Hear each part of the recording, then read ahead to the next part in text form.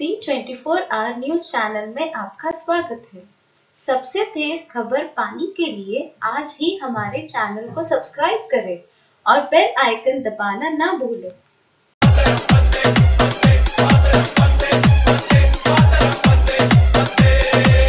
UP के प्रतापगढ़ में देश का सत्तरवा गणतंत्र दिवस समारोह बड़े ही धूमधाम के साथ मनाया गया।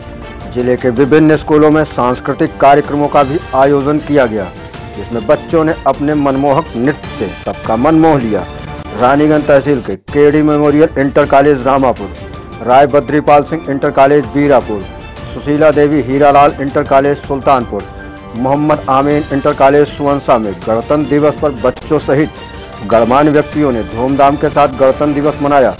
या इसी कड़ी में केडी मेमोरियल इंटर कॉलेज में शिरकत करने पहुँचे पूर्व कैबिनेट मंत्री प्रोफेसर शिवाकांत ओझा ने गणतंत्र दिवस की महत्ता को बताते हुए प्रबंधक राम नरेश, अध्यापकों और छात्रों को एकता और भाईचारे का संकल्प जताया। प्रतापगढ़ से जेपी दुबे के साथ अशोक शुक्ला की रिपोर्ट।